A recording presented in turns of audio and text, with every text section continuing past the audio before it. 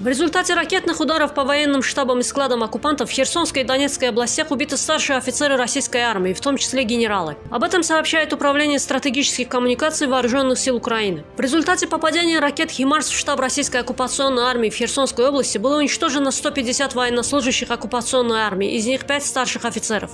Среди них начальник 22-й армии Вооруженных сил России генерал-майор Назбулин, начальник штаба 20-й мотострелковой дивизии полковник Сергей Кенс, командир 20-й мотострелковой дивизии полковник Андрей Горобец, начальник оперативного отдела штаба 20-й мотострелковой дивизии подполковник Коваль и начальник артиллерии 20-й мотострелковой дивизии подполковник Гордеев. В результате ракетных ударов по городу Шахтерск Донецкой области убиты почти все заместители командира 106-й воздушно-десантной дивизии оккупационной армии. Выжил лишь один – заместитель командира с позывным «Барс» Барсук тяжело ранен. Также убит начальник РАО 58-й армии Южного военного округа Валентин Данилов. Сообщается, что трое из уничтоженных офицеров были полковниками, а один генералом.